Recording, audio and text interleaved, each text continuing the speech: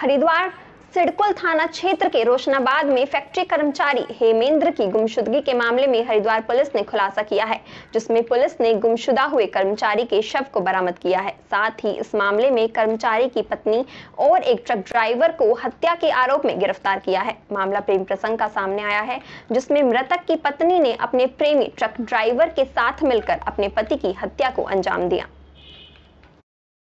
नाम के जो फैक्ट्री में यहाँ काम करते थे, उनकी गुमशुदगी तेईस तारीख को, दस दिन बाद उनके पिताजी जो है शाहजहाँपुर में रहते हैं, उनके द्वारा लिखाई गई थी।